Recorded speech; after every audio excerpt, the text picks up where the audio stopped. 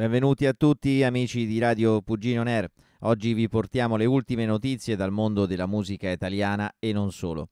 Parleremo di un evento che sta già facendo parlare di sé e che promette di essere uno dei momenti clou di questa stagione estiva, il Radio Z Future Hits Live. Ma prima una notizia che ha fatto discutere molto nelle ultime ore. Fedez, il celebre rapper italiano, ha deciso di non partecipare al nuovo programma di Alessandro Catlan per motivi di salute. Una decisione che ha fatto molto rumore considerando la popolarità di entrambi gli artisti, ma non temete, fan di Fedez, perché abbiamo buone notizie eh, per voi. Nonostante l'assenza dal programma di Catlan, Fedez sarà presente al Radio Z Future Hits Live che si terrà il 31 maggio a Roma. Sarà una serata indimenticabile e sul palco con lui ci sarà anche Amy Schilla, con cui ha recentemente firmato un nuovo singolo. Eh, dunque forse lo ascolteremo in questa occasione in anteprima. Eh, siamo ancora in attesa di altre notizie su questo singolo, ah, ve l'abbiamo anticipato, ne abbiamo parlato proprio ieri. E la loro partecipazione al concerto non solo conferma che Fedez sta bene, ma ci promette anche una performance da urlo. Eh, la vicenda ha alimentato molte speculazioni nei giorni scorsi. Alcuni ipotizzavano che il rapper avesse evitato il programma da vicino eh, Nessuno è normale eh, per eh, non rispondere a domande scomode sulla vicenda Iovino.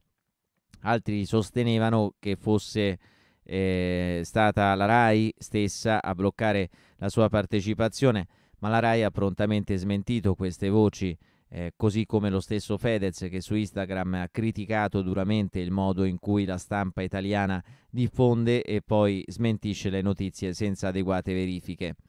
Ha detto Fedez, mi sembra che il modus operandi della stampa italiana sia quello di diramare notizie e poi smentirle con altre notizie il giorno dopo.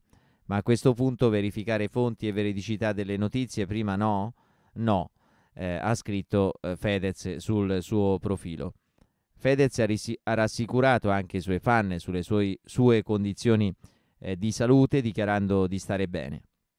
Infatti, proprio in questi giorni è stato avvistato a Monte Carlo per un evento legato a Bohem, la bevanda lanciata un anno fa insieme a Lazza. Ma ora torniamo al grande evento del 31 maggio, il Radio Z Future Hits Live.